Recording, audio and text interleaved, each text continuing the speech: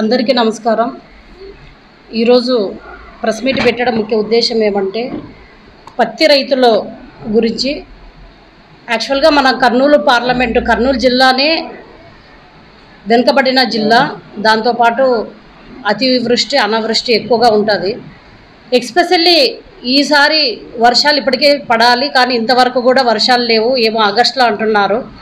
దీనికి తోడు ఇంతకుముందు అకాల వర్షం పడడం వలన కూడా రైతులు ఎక్కువగా నష్టపోయారు. పోయిన సంవత్సరం ఇరవై రెండు ఇరవై మూడు నవంబర్లోన చాలామంది రైతులు ఏ పొలిటికల్ లీడర్ సహాయం లేకుండానే వందల మంది రోడ్లపైకి వచ్చి మేం పత్తి విత్తనాలు నకిలీ విత్తనాలు కొని నష్టపోయామని చెప్పి డైరెక్ట్గా వాళ్ళు వెళ్ళి ఆ, ఆ షాపుల దగ్గరే ధర్నా చేయడం జరిగింది. అధికారులు వెళ్ళారు. చాలా చోట్ల కూడా పొలాల్లోకి వెళ్ళి వాళ్ళు పరిశీలించడం కూడా జరిగింది. ఎందుకంటే పంట అయితే బాగుంది ఏపుగా పెరిగింది కానీ దిగుబడి అనేది లేకుండా పోయింది. కొన్ని వందల ఎకరాలు మన ఆదోని మండలంతో పాటు డివిజన్ మొత్తం కూడా కొన్ని వేల ఎకరాలు కూడా నష్టపోవడం జరిగింది. బాధితులు ఇక్కడ దేవేంద్రపన్న గారు ఉన్నారు రామసామన్న గారు ఉన్నారు. వాళ్ళ ఊర్లో కూడా వాళ్ళు వందల ఎకరాల్లో కూడా నష్టపోవడం జరిగింది. ఇప్ అప్పటివి మరలా పునరావృతం కాకుండా అధికారులు ఎంతవరకు చర్యలు తీసుకున్నారు? ఎందుకంటే అప్పుడు నష్టపోయిన రైతులకే ఇప్పటి వరకు నష్టపరిహారం ఇవ్వలేదు. అందరు కలిసి ఎమ్మెల్యే దగ్గరికి వెళ్ళారు. ఆయన కూడా మీరు ఎంఆర్పి కంటే ఎక్కువగా కొన్నామని అంటున్నారు. దానికి రుజువేంది అని అడుగుతున్నారు. మేము రైతులకు ఒకటే నేను మనవి చేసుకుంటున్నాను. మీరు ఎంతకైతే కొన్నారో దయచేసి అంతకే మీరు బిల్లు రాపించుకోండి. మొత్తం ఇక్కడ ఎవరైతే రైతులు పత్తి విత్తనాలు కొంటున్నారో వాళ్ళకందరికీ కూడా మేము మీకు రిక్వెస్ట్ చేస్తున్నాము. ఎక్కువగా అడిగితే మీరు ఇమ్మీడియట్గా అధికారులకు మీరు కంప్లైంట్ చేయండి. అది ఎన్ అప్పుడు అయితే కానీ ఈ ఎంఆర్పి రేటు కంటే ఎక్కువగా అమ్మటం వల్ల ఈ షాప్లోనే ఎక్కువగా అమ్ముతున్నారనేది అధికారుల దృష్టికి కూడా పోతుంది. మీరు అట్లా కంప్లైంట్ చేయకపోతే నష్టపోయేది మీరే. రేపు పొద్దున్న వాళ్ళు కరెక్ట్ నీవు పదకొండు వందలకి అమ్మి ఎనిమిది వందలకి ఏడు వందల యాభైకి బిల్లు ఇస్తే వాళ్ళు ప్రూఫ్గా మేము అప్పుడు అమ్మింది ఇంత రేటుకి అంటారు. మీరు ఎంత చెప్పినా వాళ్ళు ఎవరు వినరు. కాబట్టి రైతులు కూడా తగు జాగ్రత్తగా ఉండాల్సిందిగా మేము ఒక టీడీపీ ప్రతిపక్ష హోదాలో మేము రైతులకి విన్నవించుకుంటున్నాము. అదేవిధంగా రైతులు ఇంతకుముందు ఏవైతే మీరు పత్తి విత్తనాలు కొన్నారో వాటిని మరొకసారి మీరు చూడండి. నేను నవంబర్లోనే ధర్నా చేసినప్పుడు నేను అధికారితో మాట్లాడాను. ఆయన ఒకటే అన్నారు ఒక కిలోగ్రామ్కి యాభై గ్రాములు లేదా వంద గ్రాములు సీడ్స్ వస్తుందమ్మా అవి మేల్ మేల్ సీడ్. అంటే ఏపుగా పెరుగుతుంది కానీ దానికి పూత అనేది ఉండదు. ఎందుకంటే అరికట్టడానికి ఈ ఏవైతే తెగుళ్ళు ఉన్నాయో అవి అరికట్టడానికి అది ఒక రూల్ మాదిరిగా మేము పెడుతున్నామని చెప్పి చెప్పారు కరెక్టే. కానీ మొత్తం ఏపుగా పెరిగితే ఇంకేమంటారు? నేను ఆ రోజు ఆ అధికారిని క్వశ్చన్ చేయడం జరిగింది. కానీ ఇప్పటికైనా అధికారులు మేల్కోనండి. ఇప్పుడే మా అన్నగారు చెప్పినట్టు మీరు ప్రతి కేంద్రం పైన అంటే ప్రతి షాపు పైన మీరు రైడ్ చేయండి. నకిలీ విత్తనాలు ఉంటే మీకు తెలిసిపోతుంది అధికారులకి ఏవి నకిలీ విత్తనాలు ఏవి లేదని. అదేవిధంగా ఎంఆర్పి ధర కంటే ఎక్కువగా అమ్మేటప్పుడు కూడా మీరు యాక్ట్ ప్రకారం వాళ్ళని అరెస్ట్ చేయొచ్చు. ఇప్పటికైనా అధికారులు అందరు కూడా మేల్కొని ప్రతి షాపు పైన మీరు విజిట్ చేయండి రైడ్ చేయండి.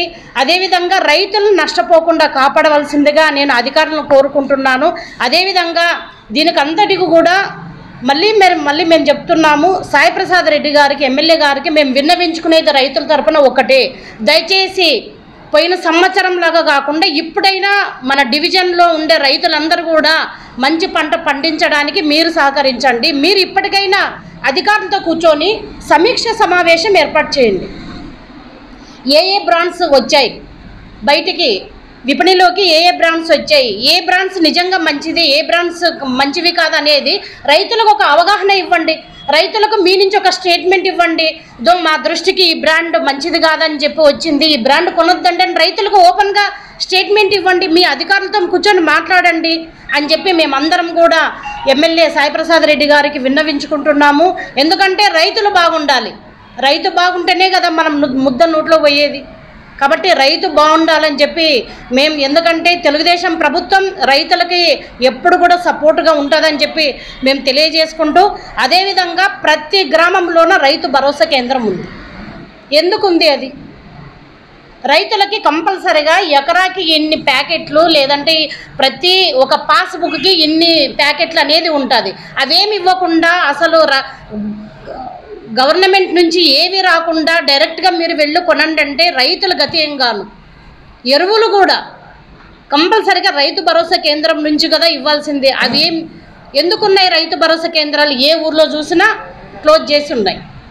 వాటిపైన కూడా అధికారులు వెళ్ళి చూసి ఏ గ్రామాల్లోన ఎన్ని రైతు భరోసా కేంద్రాలు ఓపెన్ చేశారు? ఆ రైతులతో వాళ్ళు రైతు భరోసా కేంద్రం అంటే ఏంటి? రైతులతో ముట్ట ముచ్చటించాలి. అదేవిధంగా రైతులతో చర్చించాలి.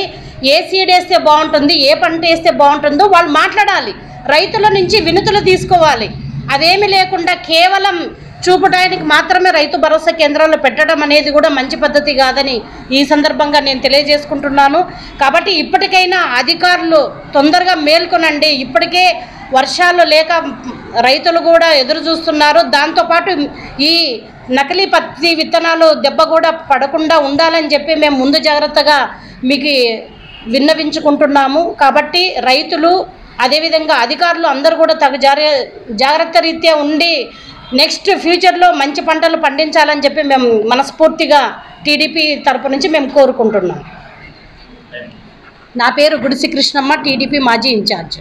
ఇంతకు ముందు ఒక వారం పది రోజుల ముందు ఒక ప్రెస్ మీట్ ఇచ్చాం. ఇతరాలు ఇతరాల గురించి కలిసి ఇతరాలు జరుగుతున్న ఆదంలో. ఎందుకంటే ఆదూరులో కర్నూలు జిల్లాలో ఆదోని మార్కెట్ పెద్ద మార్కెట్ పత్తి మార్కెట్. కంప్లీట్ ఈ ఆదోని డివిజన్ నా అన్ని నియోజకవర్గాల్లో వీటికి వస్తున్నారు పత్తి విత్తనాల కోసం. అందుకే పెద్ద డీలర్ ఉంటారు ఇవన్నీ అందరికీ వస్తున్నారు. అందుకే మనకి రాజకీయ నాయకులు ఎమ్మెల్యేలు ఎంపీలు అందరూ చెప్తారు రైతే రాజు. రైతు ఉంటే మేము ఉంటాం. అని అందరూ చెప్తారు. రైతు గురించి ఆలోచించడం ఎవరు లేదు ఈరోజు. పోయినసారి రెండు వేల ఇరవై రెండు ఇరవై మూడులో చాలామంది రైతులు నూరుకి డెబ్బై తొంభై పర్సెంట్ పత్తి పంట రాలేదు. ఆ ఇతర అన్ని ఇతర రాలేదు. ఎందుకు రాలేదు? ఇంతవరకు మాకు అర్థం కావడం లేదు. కొంతమంది పత్తి ఇతరాలు అంటారు కొంతమంది క్లైమేట్ పోయినామంటున్నారు. చాలామంది అంటున్నారు. దాని ఇప్పటి వరకు ఎవరు కట్టం కనబట్టలేదు ఓసారి ఉదాహరణ నేను చెప్తాను నూర నూట ముప్పై ఎకరాలు రైతు. తొంభై ఎకరాల పత్తి వేస్తే నాకు నూట అరవై నూట ఎనభై గంటలు కూడా కాలేదు. నాకే ఇంత నష్టం ఉంటే చిన్న రైతుల పరిస్థితి ఏమి?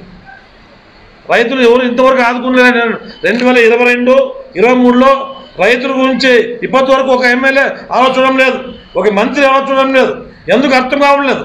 పక్కన కర్ణాటక మన నిలిచి తెరితే రైతుల గురించి ఎవరు చెప్పడం లేదు.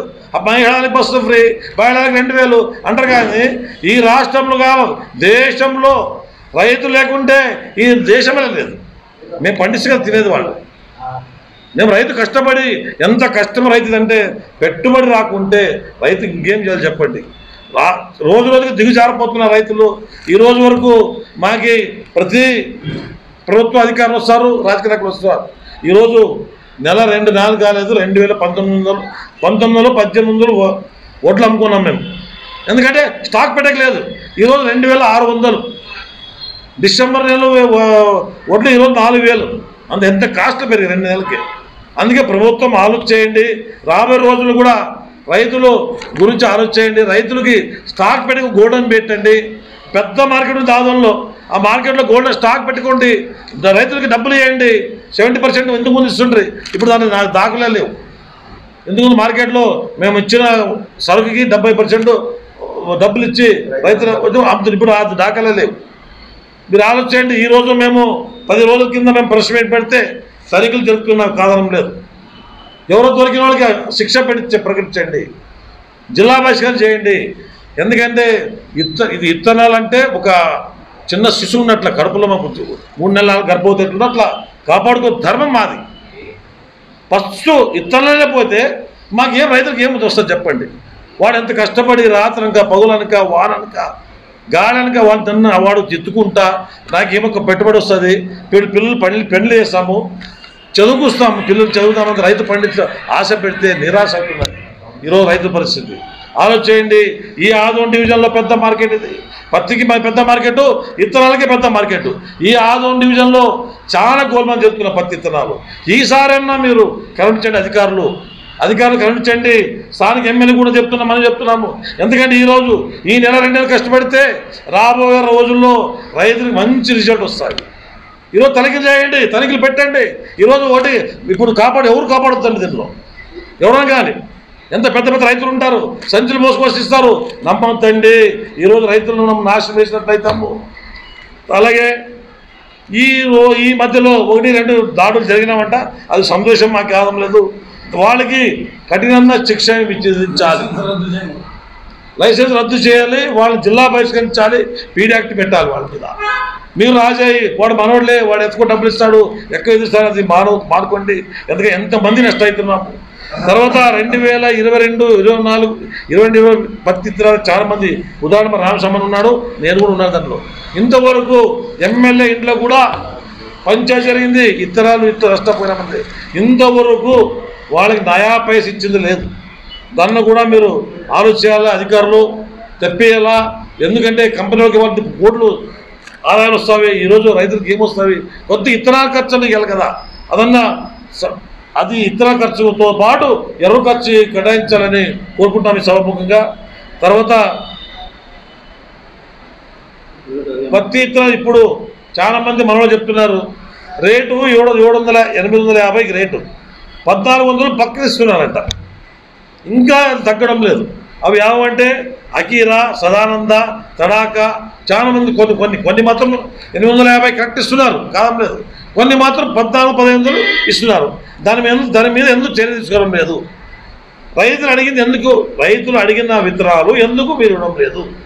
ప్రభుత్వము జగన్మోహన్ ప్రమాణ స్వీకారం రోజే రైతులు గ్రామంలో ఆర్జీబీ కేంద్రం స్టార్ట్ చేశారు.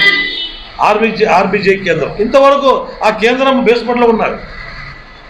మీరు ఆలోచించండి ఈరోజు అంత అధికారులు ఎందుకు ముందన్న కష్టపడి ఏవో కింద వాలంటరీగా ఉండ్రి.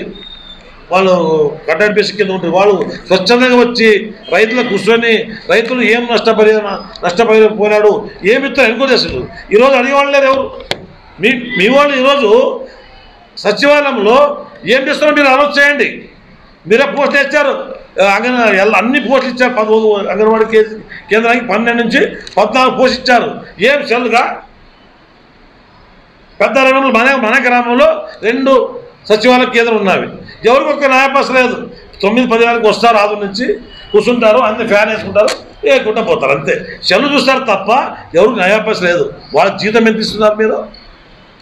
మీరు ఆలోచించండి ఇరవై ఐదు ముప్పై వేలు జీతం ఒకరికి వాలంటీర్కి ఐదు వేలు. ఇంతవరకు వాళ్ళు వాళ్ళ గురించి ఆలోచిస్తారు ఆ రైతు గురించి ఆలోచన ఊరు లేదు. మీరు ఏం చేస్తున్నారు? ఆ సచివాలయం కూర్చొని రైతుల దగ్గర పోండి పంటలు ఏం పండిస్తున్నారు ఏం చేస్తున్నారు అని అంగడిలో పెట్టండి వాళ్ళు తెచ్చి. వాళ్ళు సీల్ వేసిన కరెక్ట్ ఇవి ఇతరాలు కరెక్ట్ ఉన్నావా లేదని వాళ్ళ అధికారులు గ్రామం ఉండే అధికారులు అంగడి ముందు డీలర్ మీద పెట్టండి. పెట్టామండి ఏం చేస్తున్నారు వాళ్ళు? గ్రామాల్లో నయా పైస పర్లేదు వాళ్ళకి. ఒక న్యాయపశ పర్లేదు కావాలని ఎన్క్వైరీ చేయండి. ఇది చెప్పి నేను దేవేంద్రప్ప చెప్పేది కరెక్టా?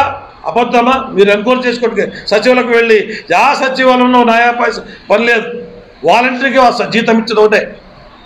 వాలంటీర్కి జీతం ఇచ్చేది ఒకటే. తర్వాత నాకు జీతం ఇస్తారు ఐదు వేలు నాలుగు వేలు. వాళ్ళంటూ కూడా స్వాహా చేస్తున్నారు. జీ పెన్షన్ రాని వాళ్ళ దగ్గర వాళ్ళకి ఏముంటుంది? యాభై ఎనిమిది యాభై తొమ్మిది ఉంటుంది కదా. ఇంకా రెండేళ్ళకి అరవై అయితే అనేది వాళ్ళ దగ్గర నాలుగు వేల ఐదు వేలు సహాయం చేస్తున్నారు. ఇది ఎవరైనా కనబడుతుంది ఇది? ఆలోచన చేయండి అధికారులు. అధికారులు అగ్రికల్చర్ అధికారులు చెప్పేది ఒకే మనమే మీరు ఈ నిర్ణయం కష్టపడితే రైతులు స్వచ్ఛందంగా మంచి మంచి మీరు ఆర్బీకేలు కానీ ఆర్బీకే ఉండే అధికారులు బిల్డింగ్ లేదు యావుల్లో ఊర్లో యా బిల్డింగ్లు అన్ని బేస్మెంట్లో ఉన్నాం అంతే సచివాలయం అధికారులు తెచ్చి ఆదంలో డీలర్ ముందు పెట్టండి. ఎదురుగా ఉండి స- నాణ్యమైన ఇతర ఇత్తనాలు చేయండి రైతు బాగుపడతారు మీకు మంచి పేరు వస్తామని కోరుకుంటున్నాను. తర్వాత అన్న చెప్పారు అదే ఎన్- ఎనిమిది వందల యాభై నలభై యాభై ఉంది రేటు. ముప్పై ముప్పై వరకు ఉంది. ఏడు వందల యాభై ఉన్నవి. అధికారులను పెట్టి డీలర్ దగ్గర అధికారులు పెట్టి నాణ్యమైన విత్తనాలతో సహా ఎంఆర్పి రేట్ అమ్మండి. ఇప్పుడు ఉండే సచివాలయానికి ఎవరికే పని లేదు. ఈ జిల్లా ఈ మా మండలం చూస్తాం కదా నేను నేను స్వచ్ఛందంగా నేను తిరిగేవాడు కష్టపడి తీసుకుని నేను కూడా రెండు మూడు పనికి పోయినాను. సచివాలయం కాదని లేదు. ఏమే ఏమేమి ఉండదు ఒక విఆర్ తప్ప వే పని లేదు. ఆవు గ్రామంలో. ఎందుకు పెట్టారో? జగన్మోహన్ రెడ్డి డబ్బులు ఎక్కువైనా నాకు అర్థం కావట్లేదు. ఏడా మీరు చూడండి మీరు మీరే చెప్పండి. సచివ ఇప్పుడు ఎంఆర్ ఆఫీస్కి వచ్చేది మానుకున్నారు ఎవరన్నా? ఎవరు చేస్తారు పని ఏం చేస్తారు పని ఏముంది వాళ్ళకి? వాళ్ళకి ఏముంది చెప్పండి అదే పని. వ్యాపారాలు పెట్టి పని లేదా వాళ్ళకి. ఏం పని ఏమని పోవాలి చెప్పండి వాళ్ళ దగ్గర? ఈ రైతులు ఇప్పుడు విఆర్ ఉన్నాడు. ప- పాస్బుక్ పట్టదా పాస్బుక్లు అడగలేరు. విఆర్ చూసుకుంటాడు. మరి ఇది ఎంఆర్ఆర్స్కి వస్తారు మిగతా పని ఎప్పుడు ఇచ్చారా? ఇప్పుడు అదే ఒక సచివాలయంలో కానిస్టేబుల్ ఇచ్చారు. యా ఊర్లో కంప్లైంట్ ఇచ్చారు వాళ్ళకి. డైరెక్ట్ ఇంటికి దేశానికి పరిగెత్తి వస్తారు తప్ప అవన్నీ అవన్నీ చాలా ఇబ్బంది. వాళ్ళు వాడుకోండి కాలం లేదు సెలక్షన్ ప్రభుత్వం వాడుకోండి. దాన్ని వాళ్ళని వాళ్ళని డీలర్ అంగడి ముందు పెట్టు. ఈ రెండు నెలల్లో నాణ్యమైన విత్తనాలు వాళ్ళకి ఈ కంపెనీ ఇచ్చాం చూడు. ప్రభుత్వం ఈ ఈ ఈ అంగడికి ఈ విత్తనాలు కేటాయించాం. ప్రెస్ మీట్ పెట్టింది రైతుల గురించి. రెండు వేల ఇరవై రెండులో రైతులు పత్తి విత్తనాలు అంగిళ్ళలో తీసుకొని ఆగస్టు నెల జూన్ జూన్లో జూన్లో పెట్టిన విత్తనాలు సరి పంట రాక చాలామంది నష్టపోయినాం. అకీరా తడాకా సైరా ఇంకా కొన్ని కొన్ని కంపెనీలు చాలా నష్టపోయినాం. అవన్నీ తెచ్చి బజార్లో ధర్నాలు చేసినాము. నాలుగు రోజులు ఐదు రోజులు వారం పొద్దు ట్రాక్టర్లతో జనము. బసారం అయితేనేమి అనవాళ్ళ మదిరే పెద్దారివాణము చిన్నారివాణము అంతా రైతులు. చాలామంది వచ్చి ధర్నాలు చేసినాము. అయినా డీలర్లు వాళ్ళ దగ్గర కూడా పోయి అంతా ప్రెస్ మీటింగ్ పెట్టినాము అక్కడ కూడా. చాలామంది చేస్తాము చూస్తామని చెప్పినారు వాళ్ళు కూడా. అయిన తర్వాత ప్రజాప్రతినిధి దగ్గర పోయినాం. ఆయన కూడా చూపిస్తానని చెప్పినాడు కంపెనీలో చెప్తానని చెప్పినాడు. అంతవరకు ఏ అధికారి పట్టించుకున్నారు అసలు అంతవరకే కూడా. చాలామంది నష్ట నష్ట నష్ట పరిహారం ఇప్పిస్తామని చెప్పి కూడా ఇంతవరకే రెండు వేల ఇరవై మూడు వచ్చే ఏ అధికారి దీని మీద చర్య తీసుకోలేదు. నా పేరు రామస్వామి మాజీ చైర్మన్ బసాపురం.